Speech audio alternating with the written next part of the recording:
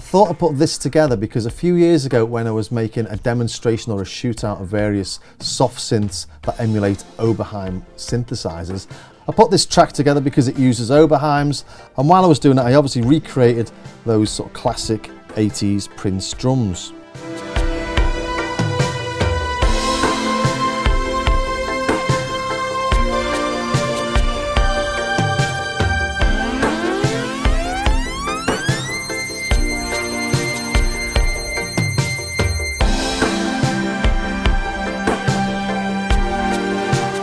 To get those drum sounds, I wondered what would Prince have had access to back in the sort of mid 80s. And listen to the sounds, I think it would definitely have been using the Eventide H910 and the and the and the flanger or a flanger at least, but as the Eventides were the sort of top of the range stuff back then, as they still are now, I thought um, this would be the best way of trying to recreate it sort of first place to start really. So Eventide have got this Clockworks bundle out at the minute.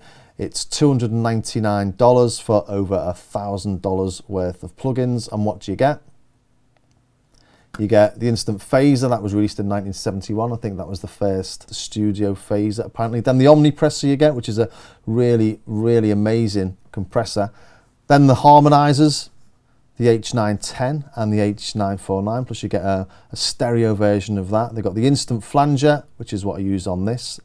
In fact, use the flanger and the H949 and the stereo room on the SP 2016 as well. So I used nearly all of it, which is why I thought, as they've brought this out, maybe it would be interesting to see what you can do with it.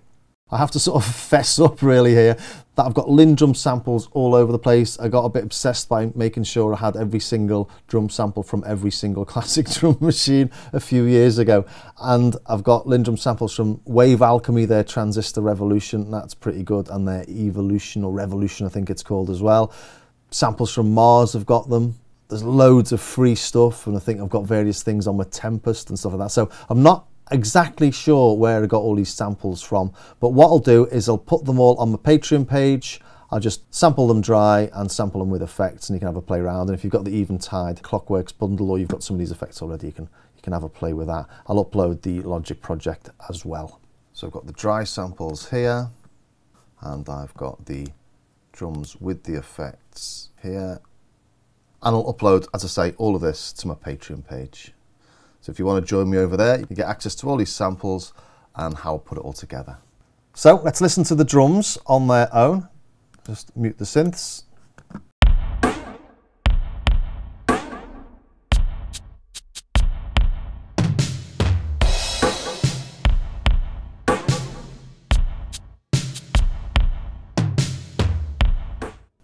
So I think that's pretty close. It's not going to be identical, obviously. You know, going through various preamps on various desks and tiny bits of distortion or not quite getting the EQ right or the reverb settings not being exactly identical. You know, it's a route to madness, but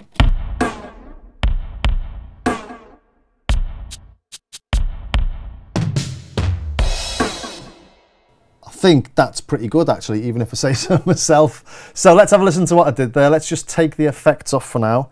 Let's go into the mixer and we can see here I've just used the Eventide effects plus um, a gate from Logic. So this is it without the effects.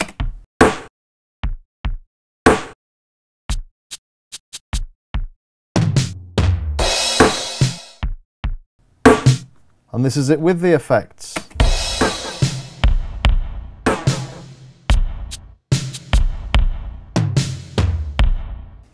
So let's go through each of these drum sounds one at a time and I'll show you what I did. We'll start off with the kick, just solo the kick. And on this I've got the SP 2016. I've used their EQ45 as well. And the Omnipressor and Logic's gate as well, just to gate that reverb. So let's turn each off and start to listen to what they all do. So let's put the reverb on. I've used here the Stereo Room Vintage because we have on this, we've got the vintage and the modern version. So I've used the vintage one because this was released in 1981. I think The track was from Purple Rain, was that 1983, something like that?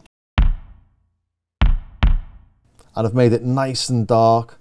I've pulled up the low frequencies over 200 hertz and I've pulled down anything over 2.5 kilohertz. Keep it nice and dark. It's quite short, but to get that big reverb sound, I've stuck it through the Omnipressor. And you can hear all those little crackles in there, and that's your vintage reverb for you.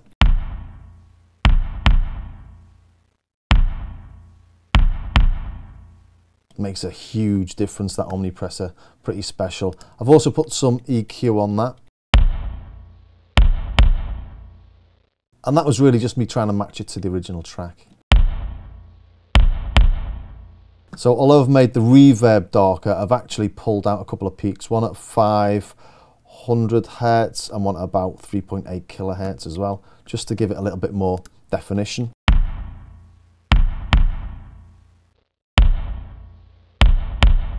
Just punches through a mix a bit better. And then I've added this gate, and this is Logic's gate. I know Prince used gates all over the place, so don't feel so bad using a gate on it as well. And that gives it a nice clarity. It cuts off the end of that reverb, and again, sits in the mix better, and it gives it that sort of classic 80s gated reverb sound.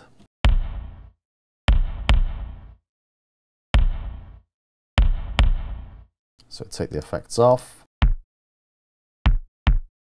So from standard kick to Prince kick. Okay, next up we'll do the rim shots. Now these are the ones that really, really use the most of these eventide effects. Let's turn the kick off. And that's that classic Prince flange sound, isn't it? So let's see how we've made that.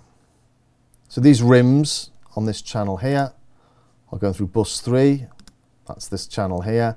And this has got a fair few things on it.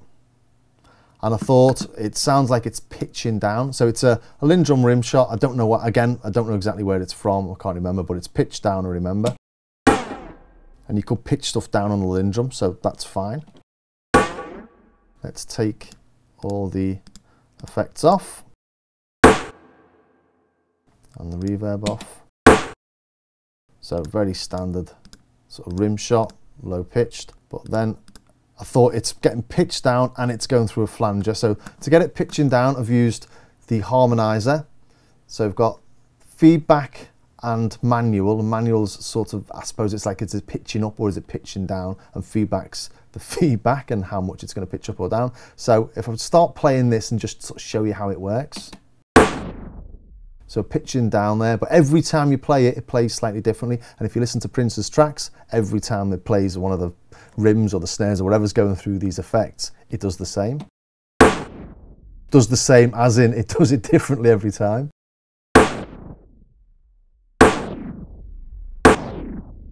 Okay, so what I've got, probably a bit too much feedback on that. There you go. So you can hear it sort of pitches down if I turn this up.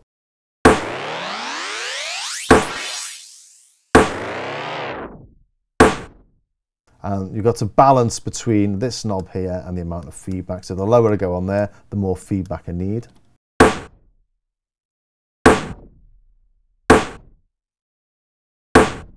So it's playing around with that, and each of his tracks he might have slightly different settings on. But this was on about 0.9, the manual, wasn't it? Let's put it back there again. Okay, so that's effect one, but then that goes through a flanger. Bring the flanger up. And there we go, we're getting there. If we take the H910 off, it's not right. You need that pitch down. And that's sounding very much like that Prince effect. Put the reverb on that. There we go. And this bus here, bus two, that I've got it sent to here, is sending it to an extra auxiliary track. And it's set up a bit strange, this mixer in this, because I tried hundreds of different ways before I got to this, really. I was just trying all sorts of different drum sounds, putting various things through various effects. And settled on this. So I've used the H949 dual harmonizer and I've used this essentially as a delay unit.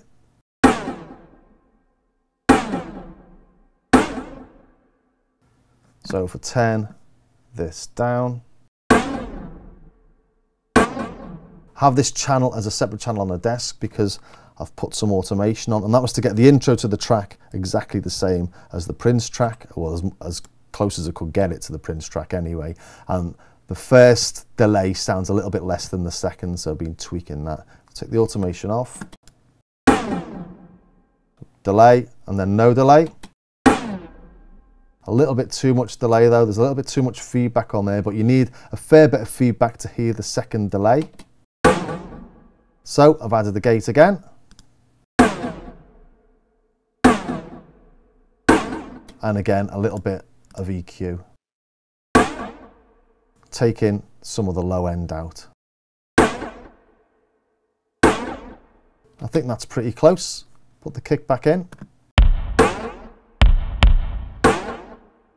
So yeah, not bad, I think. So let's move over to the next main sound, which I suppose is the snare. And I've got all these going through battery, is it? So they're all coming out of various different outputs. So let's turn the others off and let's just listen to the snare.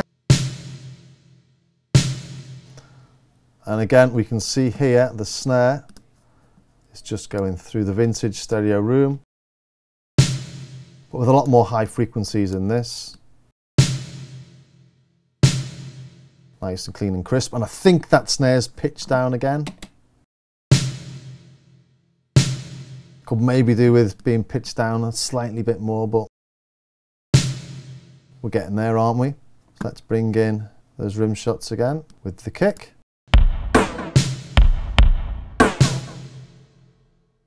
Up here, we've got a crash.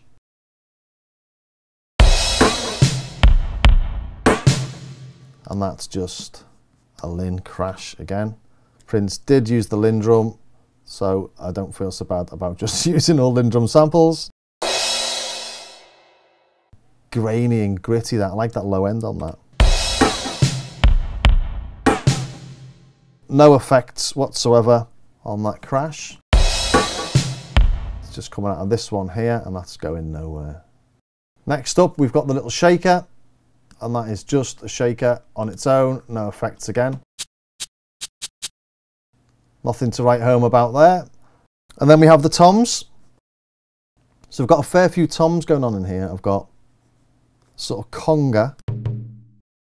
Then those two sort of dirty sounding toms.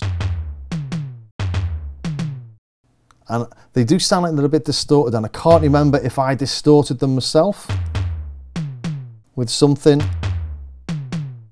But I will leave the samples, as I said, on my Patreon page so you can get them there.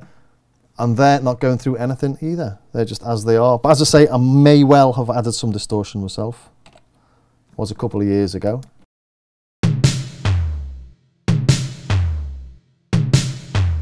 I'm sure I remember adding the conga because it just sounded like there was something else in there. Without it, it didn't sound quite right.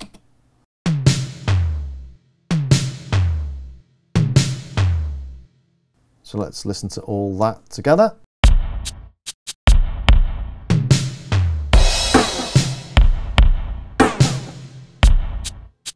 And then you can see here I've done this extra toms and I'm pretty sure he didn't just use the drum machine but the drummer played along so I've added some additional toms on top of that.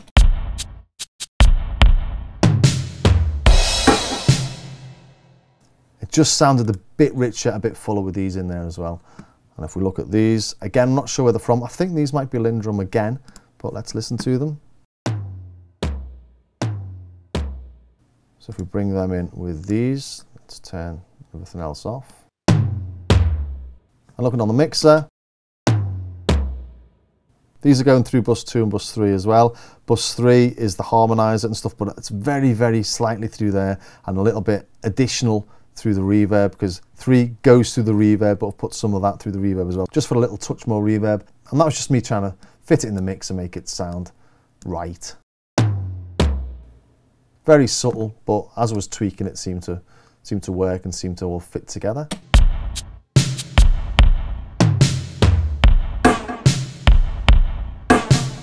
Let's try it again with the synths. And just before I do, it's worth noting that I'm using the Omnipressor as a master compressor.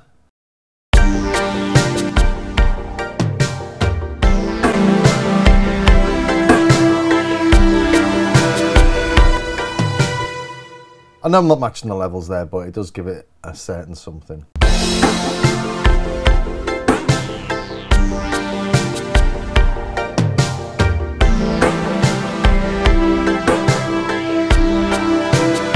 So yeah, I think that works really well. As I say, I'll put this on my Patreon page with the Logic project as well. It's got all the MIDI lines for the synths. If you haven't got the same synths, you can have a play around with it anyway. So I hope you enjoyed that. It was uh, quite good fun to revisit something I did a couple of years ago, but plenty of people have asked me to show how it was done. So hopefully with the Eventide Clockworks bundle coming out, it's of some use to somebody somewhere. Anyway, don't know about you, but I'm really in the mood to go and watch Purple Rain. It's got me all nostalgic for a bit of his purple worshipfulness. So if you liked it, hit subscribe and ring that bell. And obviously pop over to my Patreon page to support the channel and to have a look at how I made this in more detail and have a look at those samples. And I'll see you next time.